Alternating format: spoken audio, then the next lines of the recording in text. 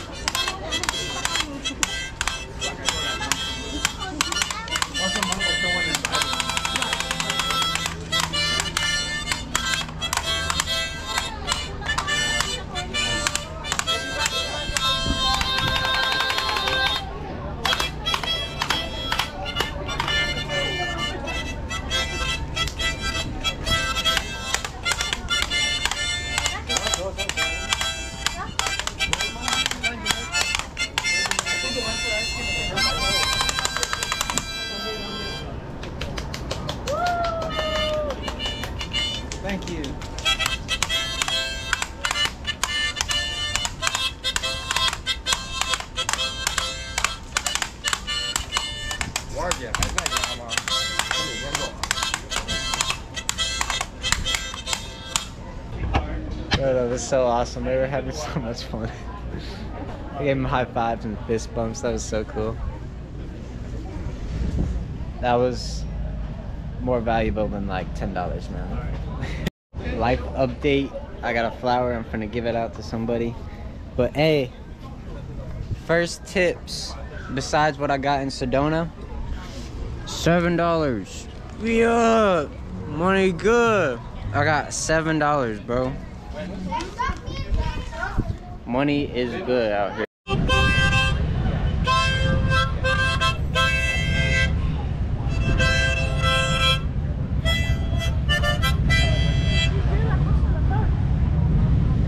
Hi, Kaplo. Senorita, here you go. Say thank you. Is that a YouTube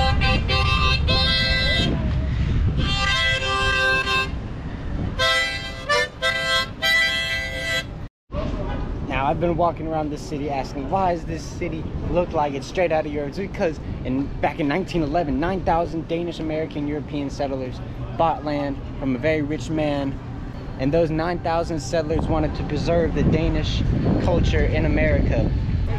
So they made an entire city that is straight out of Europe, and here we are today, like 120 years later, Solvang, Slovakia, and there's a subway straight out of Europe.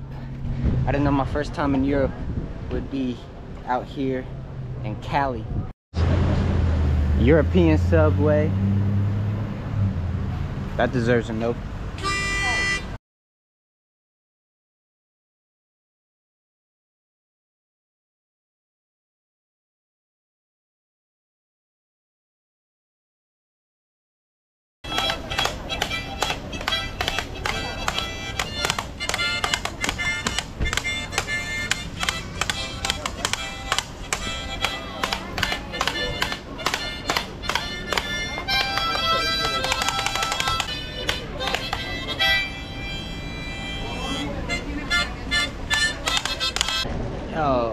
Update, update. We got three more dollars and 52 cents.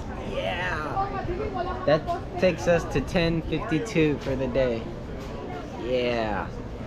Let's go film around some more. Cause I'm gonna get back on street performing at like 5-ish. It's 3.20 right now. I think traffic's gonna pick up more later in the day. This Danish town has a ton of tourists here during the summer. A lot of people come to marvel at the all the different types of architecture like that and the roads and to ride these bicycle things. Yeah. Lot- Lots of tourists. So many tourists here. Yeah. So many tourists. It's my homie. He rides, he rides, he rides a cruiser board.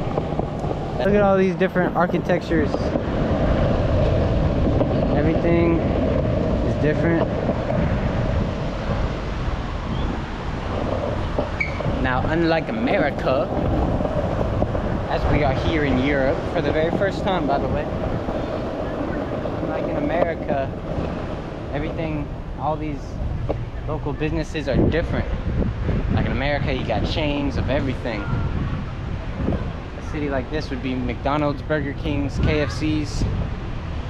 But no, everything has different type of architecture, different types of looks, feels. Everything's different. Looks old, historic, and wow, what is that? What the heck? What are these people? Who are these people? You got the you got your chain tied to me, tight, tie me up again. There's got the claws in you, my friend, into your heart, all beat again. In a boy's dream, boy's dream. Another street performer gave me some great advice. He said, don't wing it. You have to rehearse what you're gonna do so you're not messing up too much. And that's exactly what I needed to hear because all I do is wing it. I wing it on everything. I wing it on the videos. I wing it when I play my harmonica. All that stuff. To give a little recap of this beautiful city, it reminds me a lot of Sedona, Arizona, actually. It's a very interesting city. Lots of free spirits out here. You can tell everybody's cool. Not really anybody's trying to like puff their chest or anything. Everyone's nice and stuff. But unlike in Sedona, I actually made some money today. Yeah, beautiful Danish architecture, shit like that.